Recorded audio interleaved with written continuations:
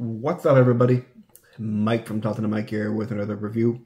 And now this is another fan film. This is a fan film that's been out for a while. I just had a chance to watch it. Finally got to it. And also, they requested it on uh, YouTube. It is called Roseblood. It is a direct sequel to Friday the 13th, Part 7.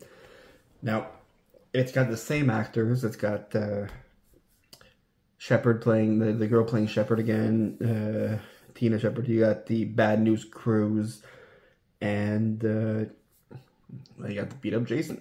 So what it takes is it starts off with you've got Tina there, you've got her imagining Dr. Crews because he's dead, and then they go back to when she's young, and you've got her, you know, being a, a science experiment, and they bring in this new person called Rose, so Roseblood because she can do more things. And what they want to do is they want to bring Jason back. Now, the doctor has a uh, a good team of soldiers prepared for Jason if he does show up. They've even taken his old mask, the one in part seven, which was cracked in half, and re-glued it together along with a bodysuit and everything else. They're ready for him. So they're doing tests on Tina and on Rose, and then they're prepared for I Operation something, but. Uh, they try. They bring it. They, they try to use their their powers, and then Rose ends up killing a bunch of soldiers. She doesn't remember. They find out her power is intense, but they still need Jason to come. So what they do is they try putting both together with the serum, and then you've got Jason who awakens out of the water. It's pretty cool how they got they I like how they have the arm of uh, I guess Tina's dad who's holding him but he gets out of the water. He gets to the Crystal Lake Science Facility. Uh, CC, the Crystal Lake Research Facility, that's what it is. And starts killing everybody, causes a muck, gets his mask back, just goes to town on everybody. And then Tina and Rose want to get rid of him. So Rose has this power, creates Michael Myers, they fight, and then Tina they they, bring him back. And Tina wakes up with Tina back in the uh, in her present with with the Jason and gets rid of him too through a portal. I guess a time portal, whatever. While her boyfriend is there. It was good. I liked it. It was a it was it was a lot, it was a full feature, which is cool. Um, I would have liked to have more Jason than not just at the end but I'll get to that after my scene that I like. So now the scene that I enjoy. There's two. Uh, the first scene is when Jason makes his his first appearance at the research facility. So check this out.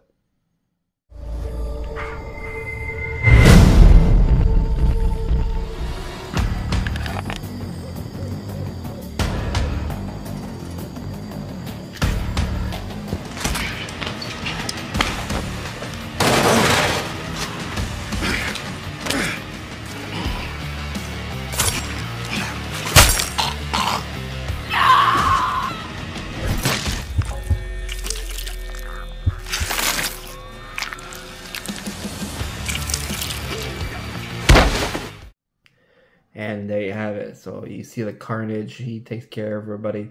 Now, the second scene that I like is the one that puzzles me. So after I show it to you, I'll talk about what I feel about this one. So the second scene that I enjoy, that I thought was interesting, is the uh, after she summons the other person. So check this out.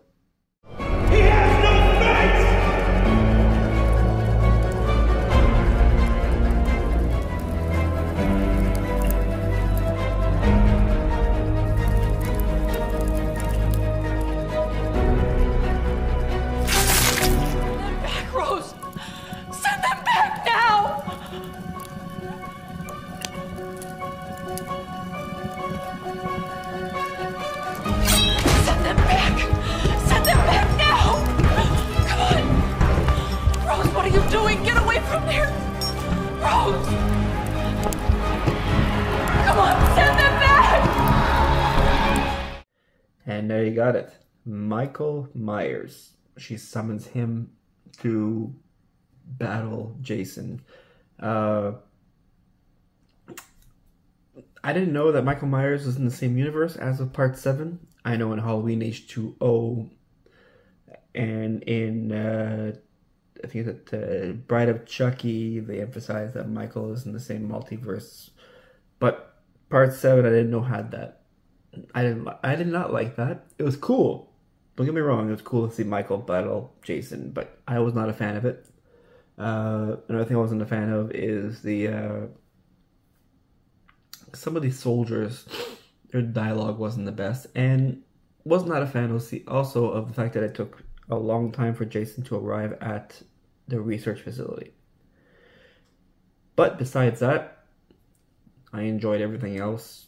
It was fun to see the original actors come back for a sequel made for the film that they did. It was fun to go back in time and see what happened in the continuation. It was really cool. I would give this a 3.5 out of 5 stars. I recommend you guys checking it out.